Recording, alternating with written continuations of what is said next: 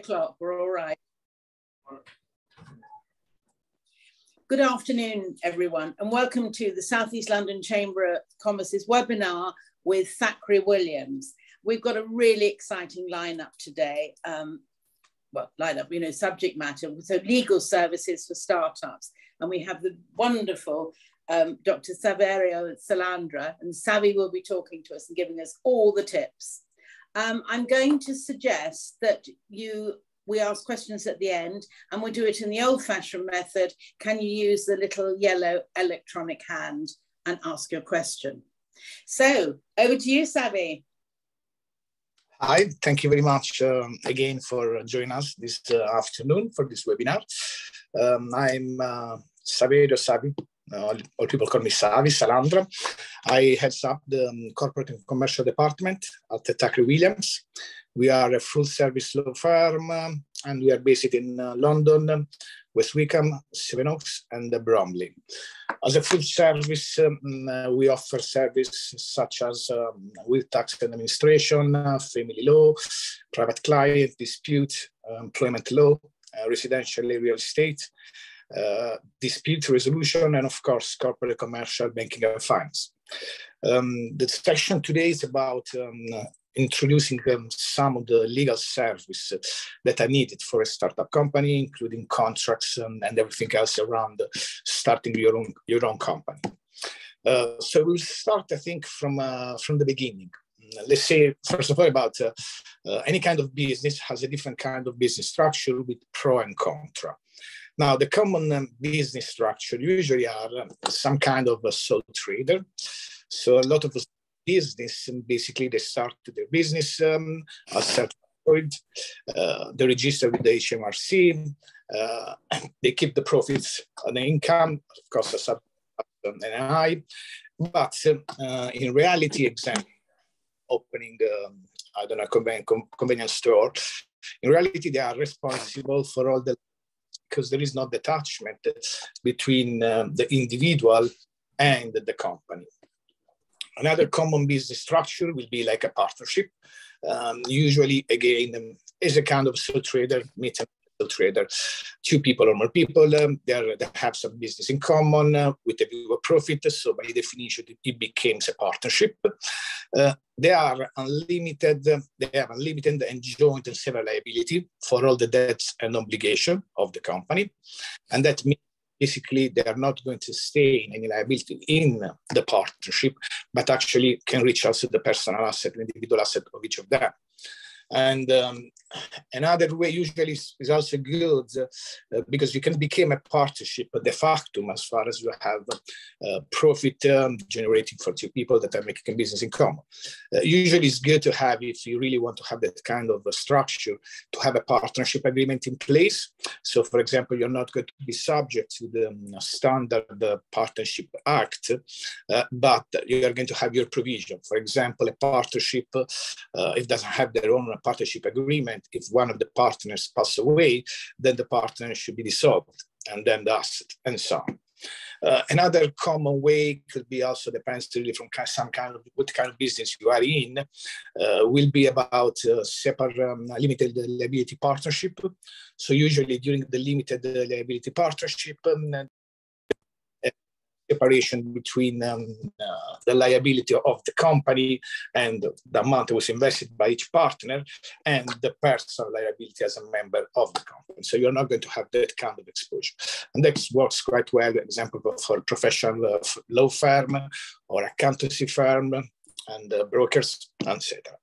Uh, the most common and um, uh, way to register, structure your business uh, it's through a limited liability company. So basically, you create, you incorporate a company uh, through a registration through a company house. Then usually, what you have, um, it's a company number. You can decide which one is going to be the capital that you are going to the share capital of the company. Example, you can open a company with two people, in two people with uh, two, two pounds. So one pounds, uh, the value of each share.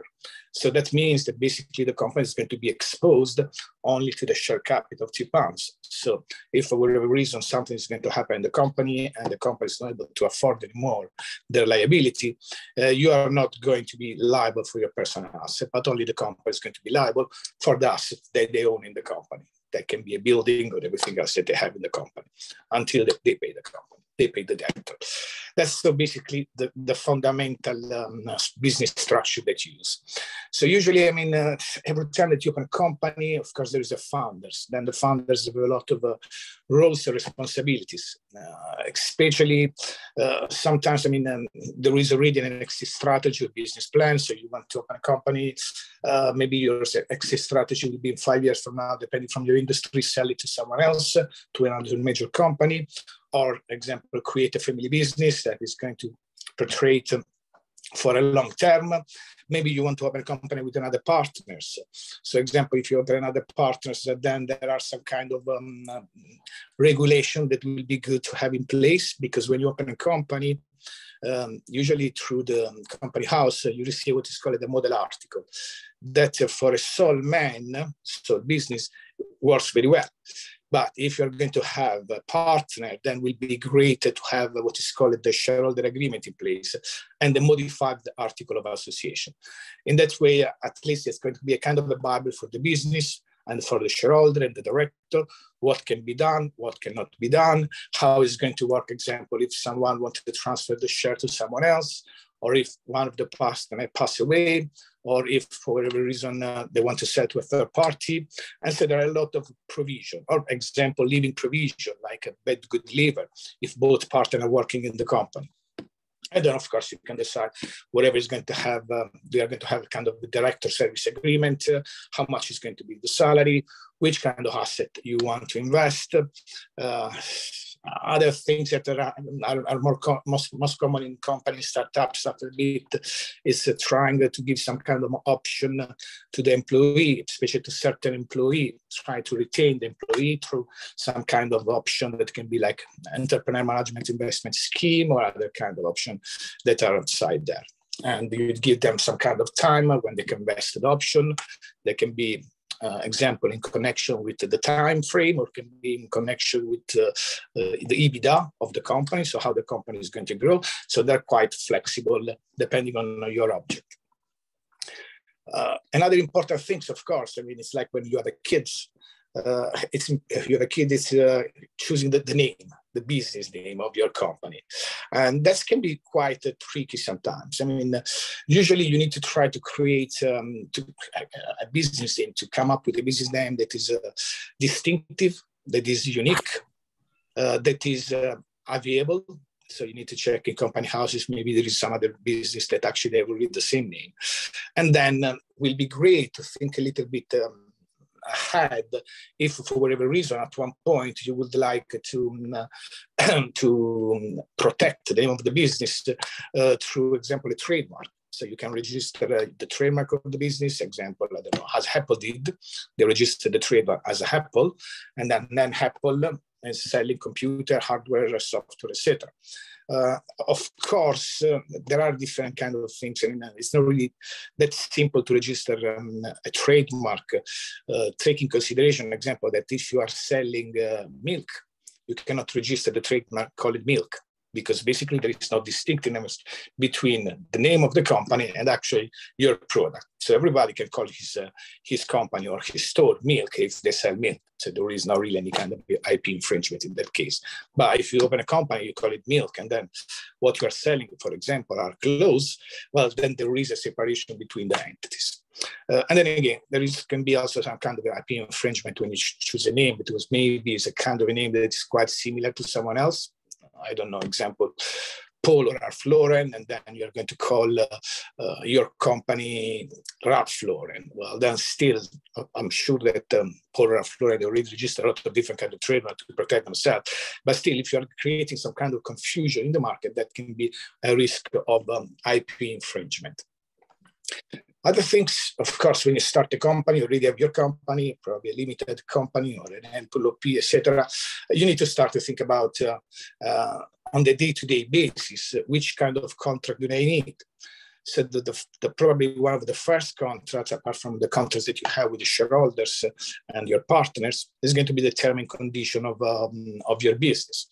Uh, why it's good to have a term and condition? Because when, whatever is going to be your business, if you're going to sell, uh, uh, provide a service, or if you're going to provide, uh, um, let's say, a product, uh, with a term and condition, it's going to be, you're going to have some kind of clear, clarity. It's going to be clear to your customer what are your obligations, what is the customer obligation.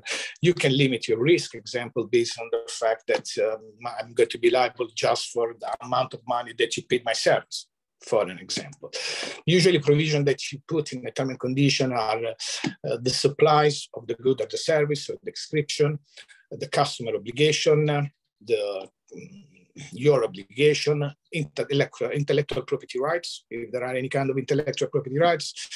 Uh, very important uh, if you collect data to have a kind of a data protection uh, clause, and of course how the, the, the, the, contract is going to be terminated and what are the consequences of the termination of the contract. So these are the bases. But yes, you try to give some kind of consistency to the to your term and condition. Other uh, uh, common terms, as I said, in, uh, usually what's very important is about the warranty that you're giving or indemnity that you're giving in um, your term and conditions. So you need to try every time uh, to, uh, to, to, to, leverage or try like you know, to balance the risk the liability. And of course, any kind of insurance that you need to take, take in consideration about the, the kind of business that you are going to do.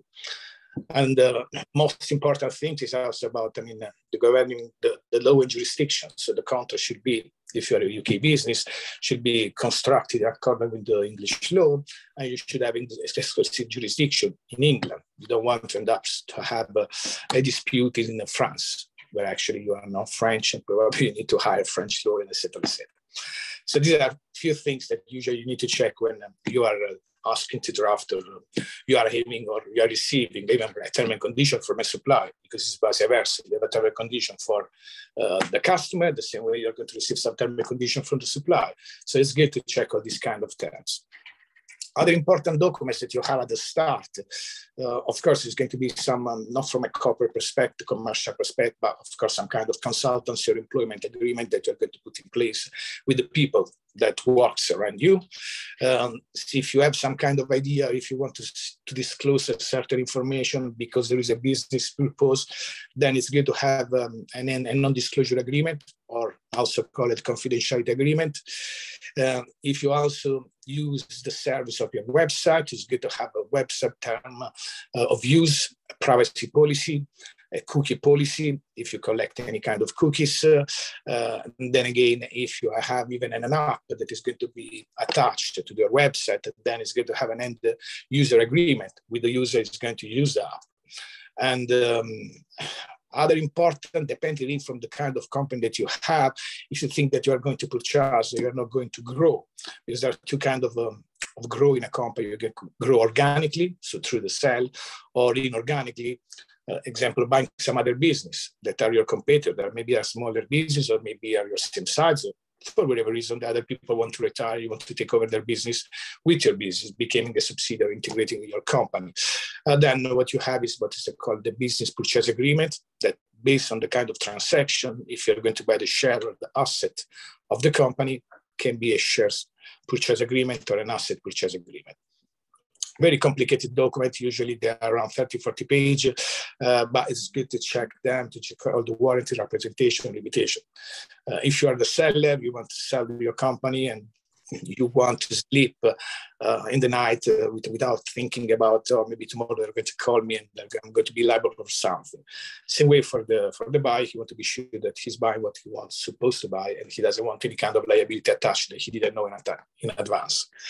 Um, another document that is quite uh, usual uh, between um, uh, startup company, especially at the start, are loan agreement. So usually you have some money that are lending by, it can be from banks or can be between uh, families, family or friends. So you have in place what is called a loan agreement that usually have like, you know, the terms like uh, how much is going to be the interest, uh, the repayment dates, uh, obligation of each party, uh, if there's going to be any kind of default, acceleration clause in case the repayment need to be made uh, earlier or later. And then, of course, that kind of agreement can be secured or unsecured. So that means that uh, uh you can secure a loan agreement through like um, uh, I don't know, corporate guarantee or some charge of a share or a personal guarantee of the individual that is signing. If it's a company signing, so you get the personal guarantee from the director or can be unsecured. Um, so based on uh, the complexity of uh, of um, opening a startup startup company and during the growth of the startup company, because of course, you, you, tend to grow year by year, even if you are um, in a startup mode. You can call yourself in a startup company after three years. Uh, there are different things and different people that you need to uh, to have around you. And then again, you are going to have different kind of function. Uh, so you need to understand exactly the importance of uh, corporate law or the commercial contract or your responsibility as an employer. So what are the responsibility to the employee? So employment law is going to be part of it.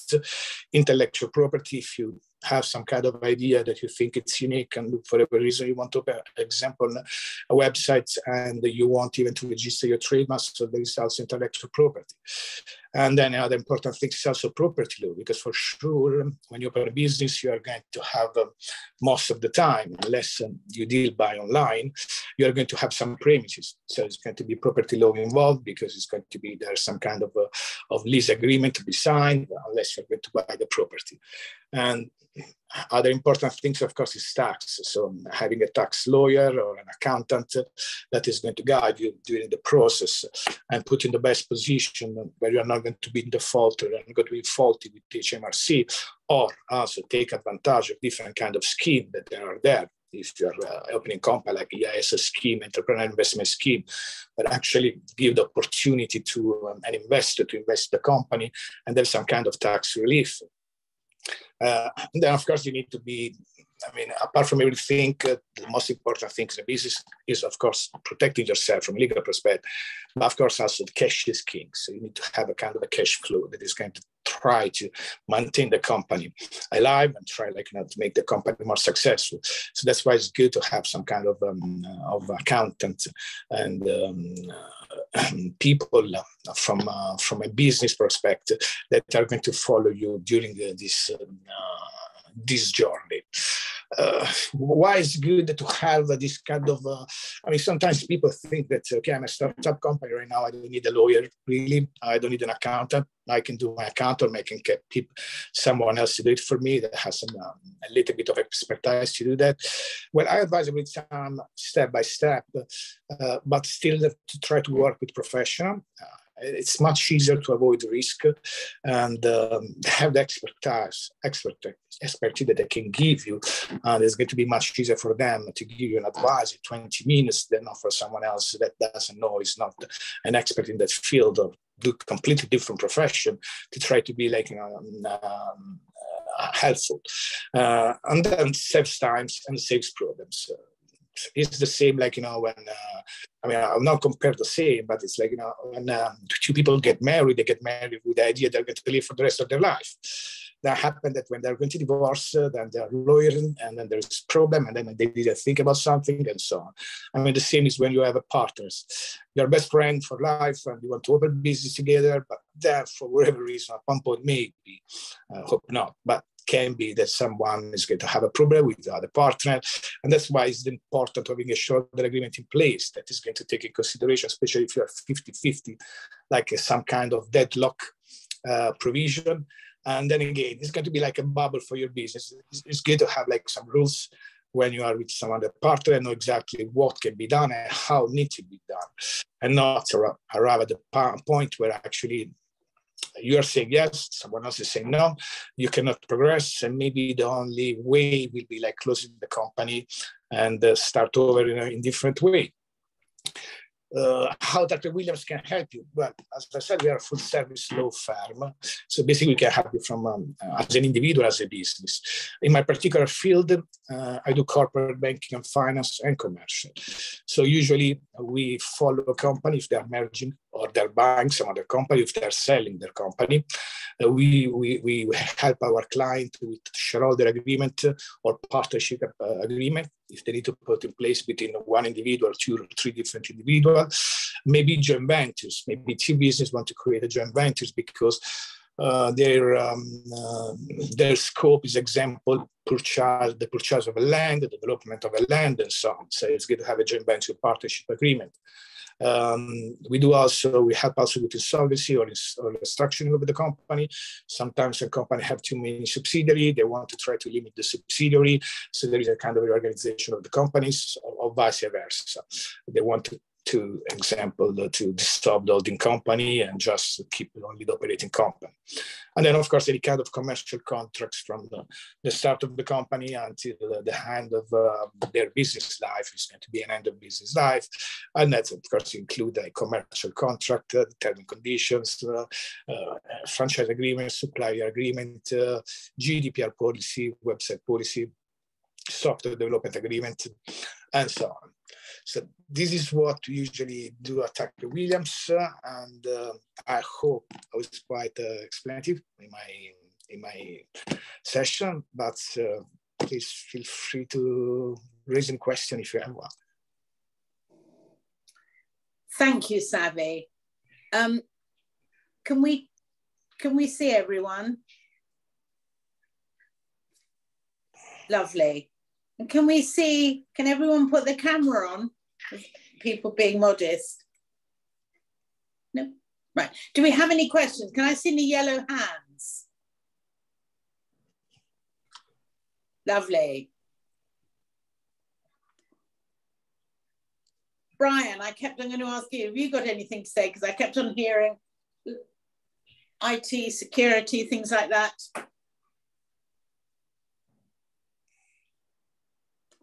Yeah, I mean, I, I, would agree with everything that's been said, but would also add um, to the list of experts that are required IT experts. Um, mm. um, managing your own IT security, um, I wouldn't. I wouldn't recommend. I've seen too many times yeah. uh, people uh, being attacked purely because they're not up to up, you know, up to um, haven't got the skills, should I say, to um, mm. Defeat attacks. Mm. Completely agree, and again, again, especially depends on the kind of business that you have with, especially if you are a kind of business that dealing with a lot of uh, data, and especially personal data, it's good to have an IT and uh, some IT consultant or still an outsourcing IT that is going to be ready to like, you know, put some kind of protection in place, some kind mm. of um, protection in place, is going to understand exactly who's going to be the controller, who's going to be the, um, uh, the producer of the um, uh, of, of the um, of the data. And then again, yes, especially during COVID, we had um, uh, we have seen a lot of companies that had like, some kind of data breach because everyone was online and trying to breach in someone else's uh, company. Mm-hmm. So yeah, very important to have an IT system and. Uh, believe that um, I mean even in uh, the kind of a business uh, you don't need so much of depends really from the business but if you're doing a business and then again you need just an office a small office uh, with this kind of hybrid work you can work have a team of five people uh, example and rotate them three two times a week so the premise is going to be smaller but then you need to invest a little bit more in it because they are going to work from home and you need to through a platform basically it's a secure platform because you will like not to have any kind of um, breach. And then example, your data, your um, uh, personal data of your clients are going to be all around the internet. Mm. Great. Yeah. Oh, ah, lovely. I'm squinting slightly. I've, I've got a little screen. Let me just see. I can't because I can't read your name. Gentleman with the earphones on. Oh, okay. Yeah. Can you hear me? Yes. Yeah, okay. Yeah, my question is, um, say if there was a small startup and it has been running for about a year and uh, we got some uh, income cash in the bank. We have not been taking uh, any money out because we just want to keep on growing because there is no need to withdraw any money. Mm-hmm. But at the end of the financial year, we have to do the accounts and submit to, to HMRC. Is it advisable to keep the cash there or is it advisable to take it as dividend? And I do not understand the word dividend, first of all, what that means and how that applies uh, to startups, you know? Yeah, of course. I mean, um, the question depends really more about uh, uh, what is your business plan, uh, how what is your how you are going to invest the money, mm-hmm. and if you have of um, of uh, of plan example to acquire some kind of equipment. So uh, yeah. now how it works, it works basically whenever you have um, revenue. Now and then again, I'm not an accountant, but just to give you an idea. Yeah. Whenever you so there are some revenue that are coming to your um, company. Then, of course, you have some um, uh, some uh, payment need to be made that can be yeah. overhead, employment. Yeah. At the end of the day, you are going to have some profit in the company. Yeah. Now, profit uh, is profit of the company, and then it's going to be probably there's going to be some tax connected to the. Yeah. Now, based on that, if you are going to uh, basically withdraw the profit because you are example two shareholder no so you're going to withdraw then the net profit of the company then you're going to be subject to the dividends so it means that you are going to pay dividends based on your um, on your personal income situation. If you leave the money in the company, then you are not going to subject to pay dividend on a personal level.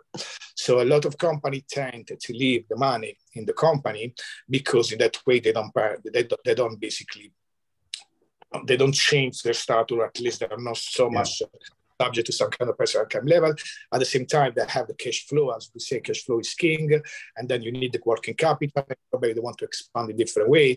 Uh, so it's about opportunity cost. So it's much better for me to have 10,000 and draw down 10,000 in my company where actually maybe tomorrow I need that 10,000 and maybe I need to go to the bank. And maybe the bank is going to apply me an interest rate is quite high and then they're going to ask me for some personal guarantee or it's better to leave if I can leave and then maybe just draw some part of the cash example through a director service agreement where you are going to have an employment service agreement as a director with the company, and I don't know, take 8,000, 9,000, whatever it is for, um, for every year. Mm, okay. It's, uh, is, uh, is usually how it works, but I'm not a tax. Uh, yeah, yeah, yeah. It's more mm. of an account question towards an accountant, but thank yeah, you. That's yeah. how usually it works.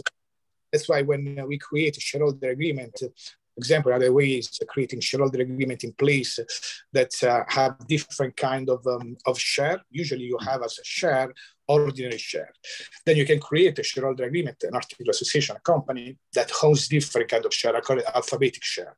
So you have A share, B share, C share, D share.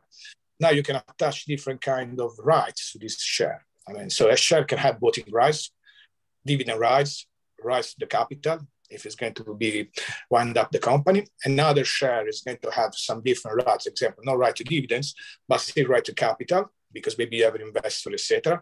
So that's also a way to classify to, to make in a different way. And then again, because they are not just a, a denomination of the share, but it's completely different class of share, then you're also able to distribute the dividend to one class of share, but not to the other class, and vice versa, based on how much and on their personal situation.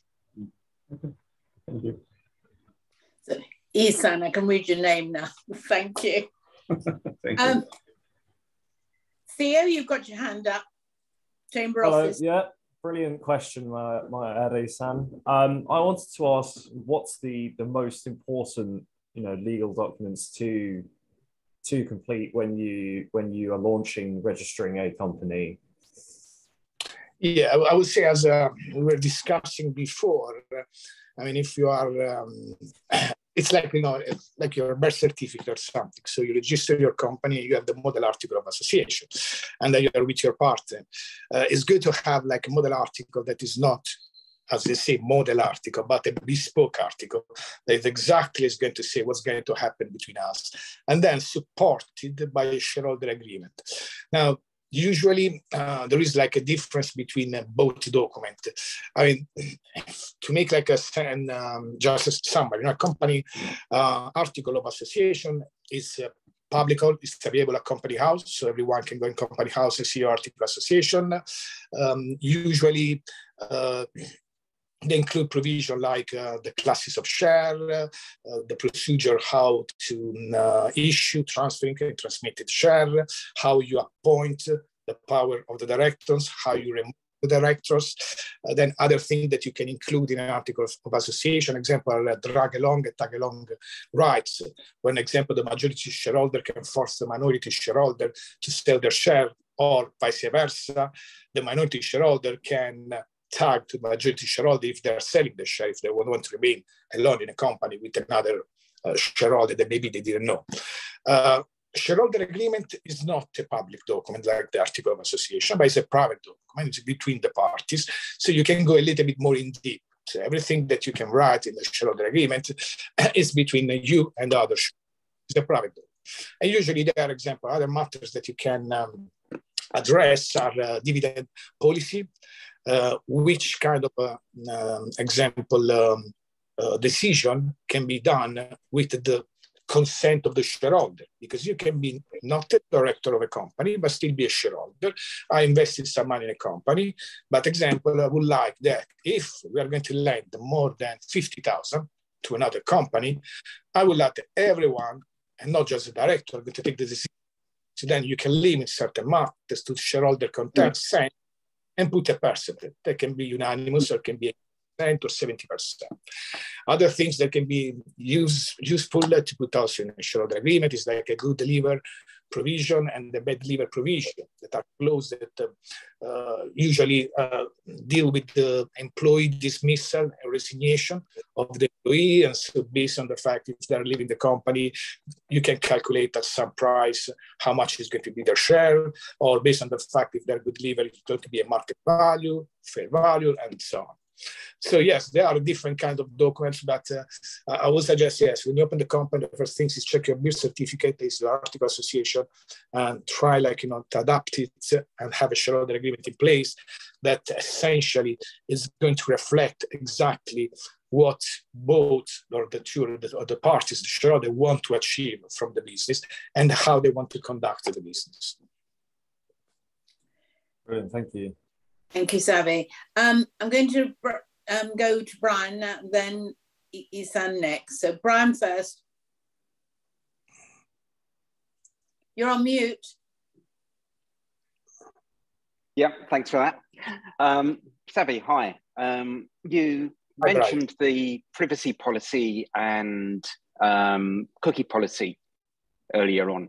What's your, uh, many website developers think it's just a box ticking exercise and will download a template from the internet. What's your opinion of internet downloaded privacy policies?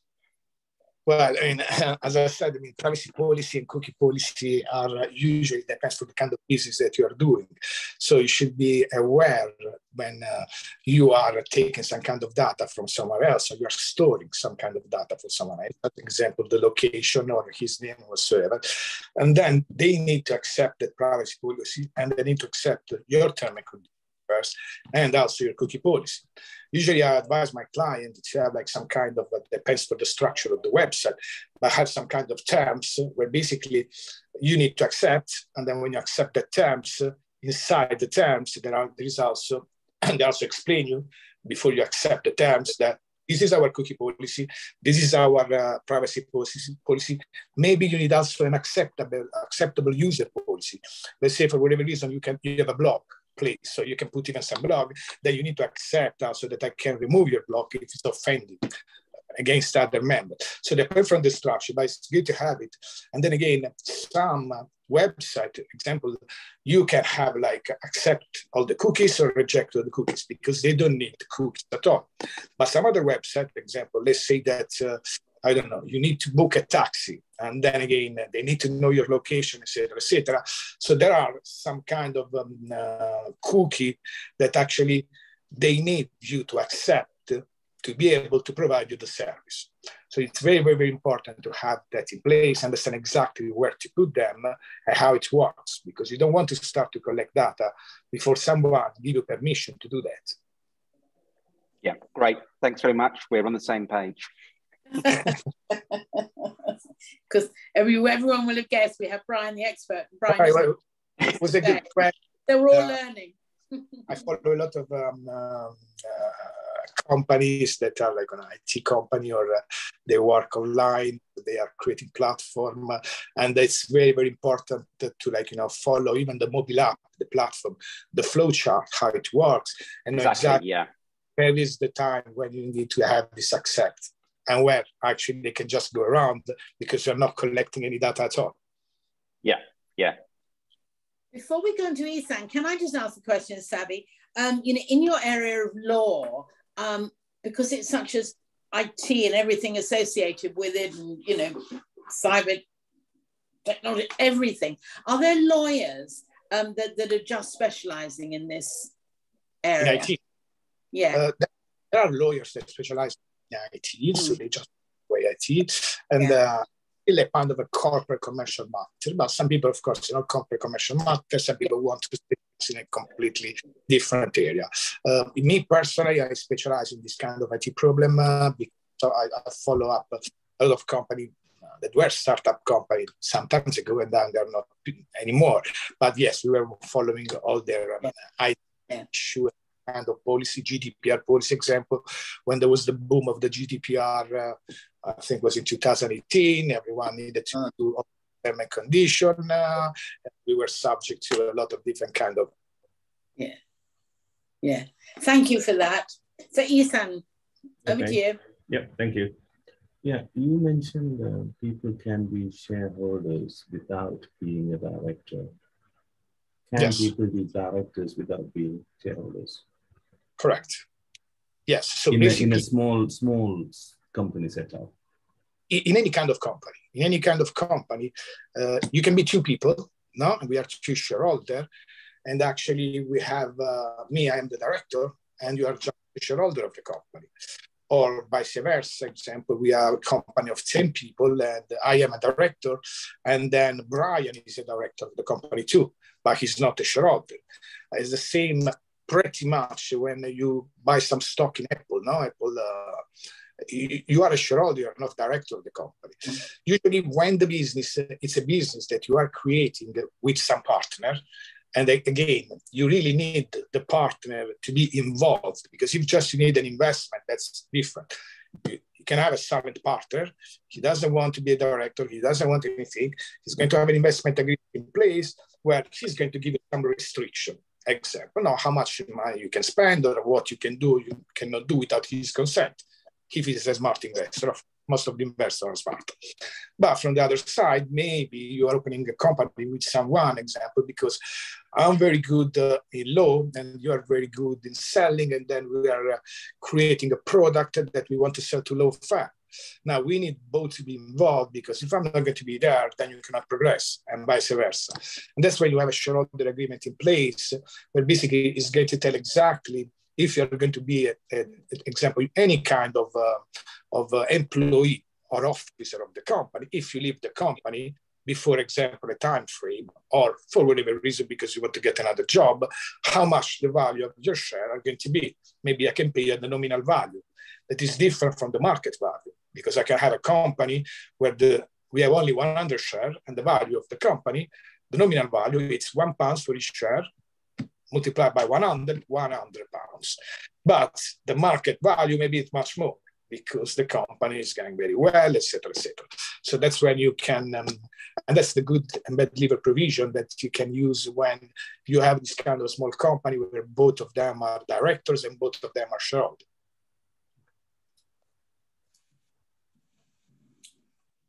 Thank you. Theo, have you got another question? Yeah, just just one more. So when you're starting up, you're sort of in a phase where you might be looking to say get a business loan or acquire some sort of capital from investment.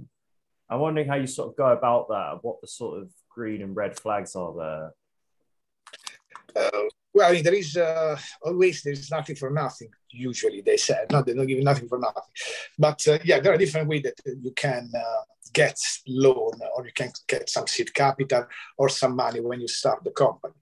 Uh, usually, you get some loan from family and friends, and usually they don't ask any kind of security. So there is a repayment date, and then you need to repay them.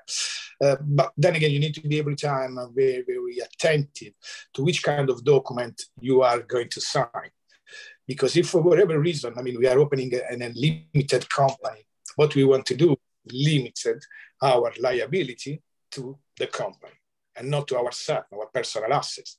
But if for whatever reason I'm going to get a loan and then between the document I'm going to sign, there is also a personal guarantee. Basically, what I'm doing is taking off the shield of to the liability company and taking basically the liability of me. Because if the company is not going to pay, then the bank can come directly to you because you give the personal guarantee on the obligation of the company, and they can come back to you and basically recover that debt from your personal assets. So mm. if you were trying to accumulate during that period assets like your home, etc., etc., etc., and then at one point you just get a million or two million or three million loan, and then whatever reason you're not able to pay and you give a personal guarantee, well, that would be a problem with the personal asset. So always I suggest try to avoid to sign any kind of personal guarantee.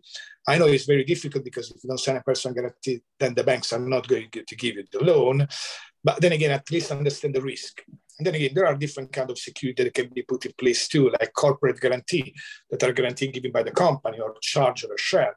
So try every time to limit the risk until you really need to get on a personal guarantee that is going basically to take care of the limited liability that you had in place where actually you open your LTD company. Hmm. Thank you. Do we have any more questions? Anyone? Silence. well, I hope everything was very, very clear. That's why there are no questions. I think it was very clear. It was it was very clear. Um, just one point I want to say, and we do have a chamber um, member who has had massive, massive growth. And it was thinking of Isan's point about, you know, not taking any money out. Um, they're hugely successful, but everything um, they're in accommodation that is sort of meanwhile use. So you haven't got a a lease you can you know trade with you know the bank uh, these individuals. They live in rented a very smart but rented accommodation. So they had no massive mm-hmm. amounts of cash. So they've done so well huge quantities of cash but no actual assets. And of course during the lockdown no bank would lend them a penny well, you know, that's why I mean, sometimes people. I mean, uh, it's a good, not good thing. I mean, at least it's a positive yeah. thing. You forgot yeah. that cash in the company. I mean, that's a good part. At least it's better than forgetting you don't have cash at all. But yeah. uh, having cash in a company depends really from your strategy and what you want to do. And uh, again, it's all about an opportunity cost. Now, if I have I can be a company, I can be an individual. It's about the opportunity cost, and of course there are risk and rewards. No? So if uh, I put the company, the, the, the bank, uh, the, the money in the bank, I'm going to get maybe one one percent. Mm-hmm. But if to use the money for investing, example, to buy, um, if I have like example, uh, I don't, in a hotel, and I have one bar, and I actually have a lot of clients, and the waiting time is long. If I can invest twenty thousand to create a second bar and then mm. put and in reality that 20,000 are going to give me as a revenue one ounce. So the return on that investment is much more than just in the bank yeah. using it. Yeah, yeah. So I think we've all got food for thought. no, definitely no more questions. No, wait, Last chance for yellow hands. No. No. So the butcher's times two. It's been lovely seeing you. Savi, thank you thank so, you so much. Been really, really um, tremendous. And this will be going up on the website. Thank you again. And thank you to Thackray Williams. Bye bye, everyone. Bye. Bye. Bye. Bye.